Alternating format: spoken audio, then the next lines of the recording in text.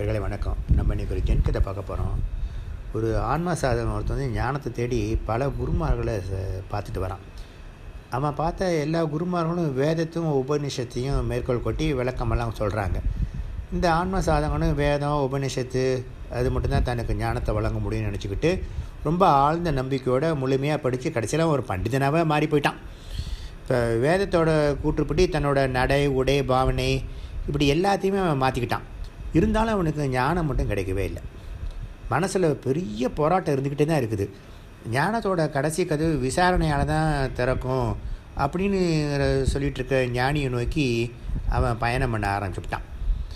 இப்போ இவன் சந்தித்த ஞானி வந்து இந்த வேதத்தையும் உபனிஷத்தையும் எதையுமே மேற்கோள் காட்டவே இல்லை. இருந்தாலும் அதில் என்ன சொல்லியிருக்கோ அது மாதிரி அவர் வாழ்ந்துக்கிட்டு இருக்கிறாரு. ஒவ்வொரு சாதகன் வந்து அவர்கிட்ட விவாதிக்கிறப்ப வேதத்தில் தனக்கு தெரிஞ்சதெல்லாம் எடுத்து ரொம்ப அழகாக எடுத்து சொல்லுவான். அவர் உடனே இந்த வேவத்து உபநிஷத்துன்னு சொல்கிறத விட்டுப்புட்டு நீ என்ன புரிஞ்சுக்கிட்டேன்னு அதை சொல்லு அப்படின்னு ஞானி பல தடவை கேட்டு பார்த்தாரு.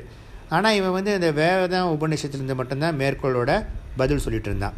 சரி சரி நீ கொஞ்ச நாள் என்கிட்ட தங்கி இருந்துட்டு போ அப்படின்னு சொல்லி ஞானி சொல்கிறாரு அந்த மாதிரி சமயத்தில் காலை நேரத்தில் வந்து நடைபயிற்சியப்போ இந்த ஞானியும் அவனும் ஒரு காட்டுப்பகுதிக்குள்ளே அப்படியே நடந்து போகிறாங்க அங்கே வந்து ஒரு பெரிய மரம் இருக்குது. அதை வந்து ஒரு கொடி முழுசாக ஆக்கிரமிச்சுக்கிட்டு அப்படியே அது மேலே படர்ந்து கிடக்குது. இந்த மரத்தோட கிளை இலை பூ கனி எதுவுமே தெரியாதபடிக்கு இந்த கொடி அதை சுற்றி ஆழ்ந்து சூழ்ந்து அப்படியே ஆக்கிரமிச்சிட்ருக்கு. இப்போ அந்த மரத்தை காட்டி இது என்ன மரம் அப்படின்னு சொல்லிட்டு ஞானி கேட்டார். இல்லை இந்த கொடியெல்லாம் படர்ந்து சூழ்ந்துட்டுருக்கனால எனக்கு என்ன மரம்னு தெரியலைங்களே அப்படின்னா இந்த மாதிரி தான் என்னப்பா நீனு இருக்கிற? அப்படின்னு சொல்லி ஞானி கேட்டார். இவனுக்கு மனசில் என்ன ஒரு பொறி தட்டின மாதிரி இருந்தாலும் கூட இவனுக்கு முழுசாக விளங்கலை. இப்போ நான் தெரிஞ்சுக்கிறதுக்கு என்னங்கய்யா செய்யணும் அப்படின்னு சொல்லி இவன் கேட்டான். இப்போ இது என்ன மரம்னு தெரிஞ்சுக்கிறதுக்கு நம்ம இப்போ என்ன செய்யணும்? சொல்லு பார்ப்போம் அப்படின்னு ஞானி கேட்டார்.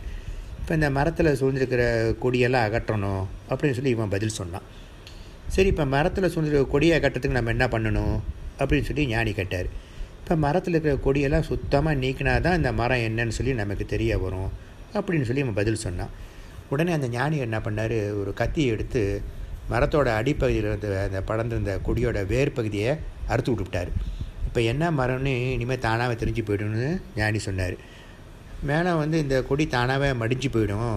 இந்த காஞ்ச கொடி கூட இந்த மரத்துக்கு உரமாக கூட ஆகிடும் அப்படின்னு சொல்லி ஞானி சொல்கிறார் அப்போ தான் அந்த சாதகனுக்கு மண்டையில் என்னோ சுரீர்னு உரைச்சிது. அதுக்கப்புறமா அவன் இந்த வேதத்திலிருந்தெல்லாம் உபதேசத்தெல்லாம் போய் மேற்கோள் சொல்லி ஞானிகிட்ட பேசுகிறத விவாதத்தில் இருப்பதெல்லாம் சுத்தமாக விட்டுப்புட்டான் இத்தனை காலம் அவன் மண்டையில் சுமந்துக்கிட்டு இருந்த இந்த வேதம் உபனிஷத்து அப்படின்னு வேண்டாத சங்கதி எல்லாமே தானாக அறுபட்டு கீழே விழுந்துடுச்சு. இப்போ தலையில் சுமந்துக்கிட்டு இருந்த இந்த பாரமெல்லாம் கீழே இறக்கி வச்ச மாதிரி அவனே ஒரு சுய வெளி ஒளி பெற்று அப்படியே ரொம்ப பிரகாசமாக பிரகாசிக்க தொடஞ்சிட்டான் ஞானிக்கிட்ட இருந்து ஞானத்தை தெளிவாக உள்வாங்கிக்கிட்டு அவன் ஊர் திரும்புறதுக்கு முன்னாடி அந்த கொடிகள்லாம் சூழ்ந்து இந்த பழைய மரத்தை போய் பார்க்கலாம் அப்படின்னு சொல்லிட்டு அங்கே பார்க்க போகிறான் இப்போ அந்த கொடியெல்லாம் சுத்தமாக நீங்கி மரம் சுயமாக அப்படியே பிரகாசிச்சுட்டு இருந்தது. கொடி வந்து மரத்தோட வளர்ச்சிக்கு நல்லா உரமாக கூட மாறி போயிடுச்சு. இப்படி இந்த கொடியெல்லாம் முற்றிலும் நீங்கின நிலைமையில் அந்த மரம் இப்போ வந்து அவனுக்கு ஒரு போதி மரமாட்டம் அவனுக்கு காட்சி அளிச்சிச்சு. நீயும் புத்தன்தான் அப்படின்னு சொல்லிட்டு அவனோட உள்ளுணர்வு சொல்கிறத அவன் நல்லா உணர்ந்துக்கிட்டான் நன்றி வணக்கம். அனைவருக்கும் அன்பான வணக்கம். ஸ்ரீ பகவத் ஐயா அவர்கள் நம்மோடு வாழ்ந்து கொண்டிருக்கும் ஞானி. இவரால் ஞான தெளிவு பெற்றவர்கள் பலர். ஒவ்வொரு மாதமும் வெளிவந்து கொண்டிருக்கும் பகவத் பாதை மாத இதழ் மாதந்தோறும் ஞானத் தெளிவு தரும் ஐயாவின் கட்டுரை அன்றாடம் எதிர்கொள்ளும் பிரச்சனைகளுக்கான கேள்வி பதில் ஞானத்தை எளிதாக புரிய வைக்கும் ஜென் கதை என அனைத்தையும் தாங்கி வந்து கொண்டிருக்கிறது.